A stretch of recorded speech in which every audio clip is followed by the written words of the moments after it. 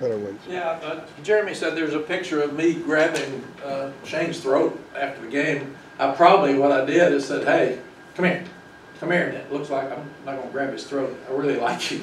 So if, if somebody's gonna take a win and try to make me uh, attacking the other coach, that's pretty lame.